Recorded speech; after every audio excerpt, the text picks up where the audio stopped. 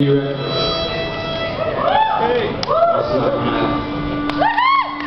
is the song from the first days of spring called uh, Give Me the Love of an Orchestra.